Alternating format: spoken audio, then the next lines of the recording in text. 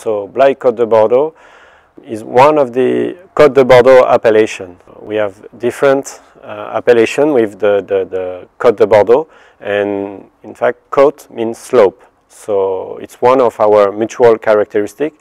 It's to have, uh, to have slope all over the, the, the appellation. Um, and now that represents uh, a huge part of the Bordeaux region and also the other characteristic is to, to find in, in this uh, different appellation uh, familial property uh, with um, a, a, human size. Uh, in each uh, estate will find you can meet the, the wine grower. So I think that represents well the, the, the, the biggest part of the Bordeaux production.